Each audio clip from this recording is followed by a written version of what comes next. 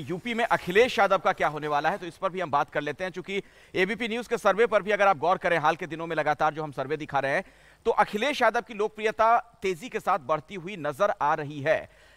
हमारे साथ यहाँ पर जो तमाम मेहमान मौजूद हैं राखी जी आपसे अब शुरू करना चाहूँगा। जी। अखिलेश यादव के लिए आपकी गणना क्या कहती है?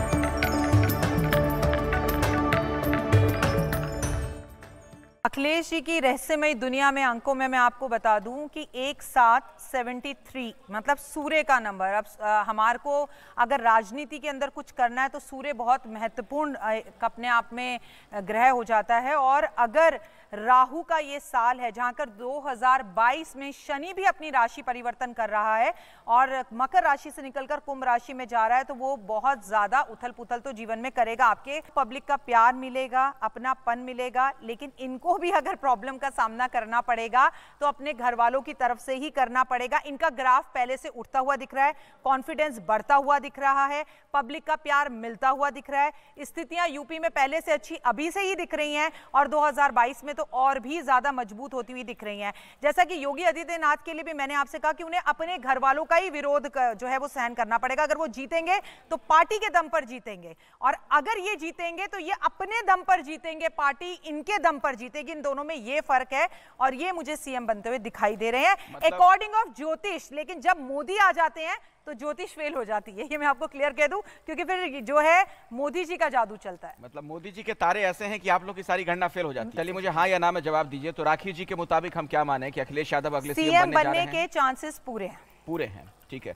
नंदिता जी आपकी गणना क्या कहती है? अखिलेश यादव मुझे लगता है इसमें थोड़ा सा राखी और मेरे बीच टकराव हो रहा है। हाँ। अ, मुझे नहीं लगता अखिलेश यादव जी के लिए अभी इस समय सीएम बनने के चांसेस हैं। अभी बहुत मुश्किलात उनके लिए अभी भी आ रही हैं। सबसे बड़ी चीज़ है उनके लिए जो स्थितियाँ मुझे दिखाई देती हैं। हालाँकि उनकी जो अपनी कुंडली है, वो स्ट्रॉन्ग स्ट्रेंथ लेके आ रही है।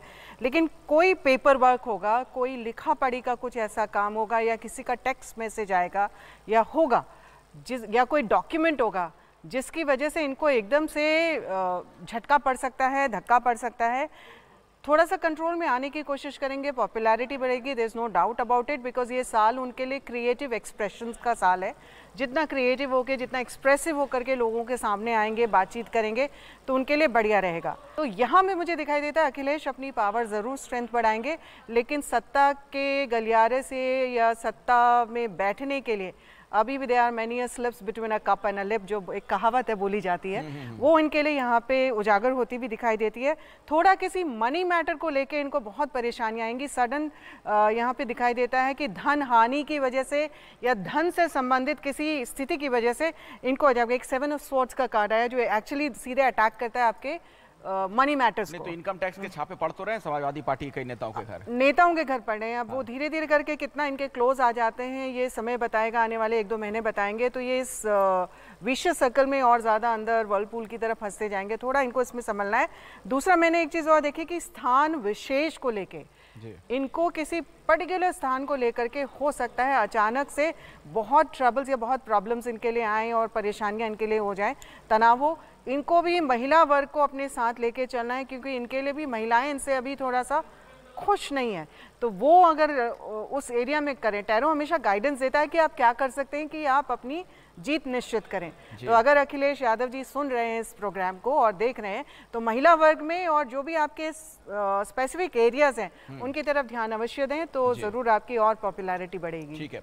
आचार्य जीतू सिंह जी आ, आपकी गणना क्या कहती है अखिलेश यादव को लेकर?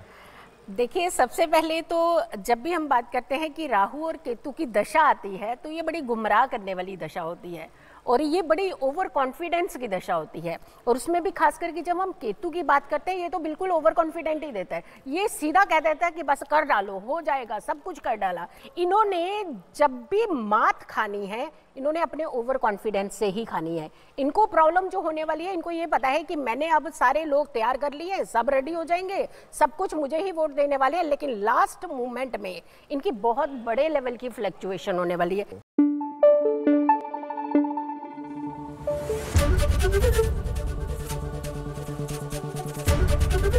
एबीपी न्यूज़ आपको रखे आगे।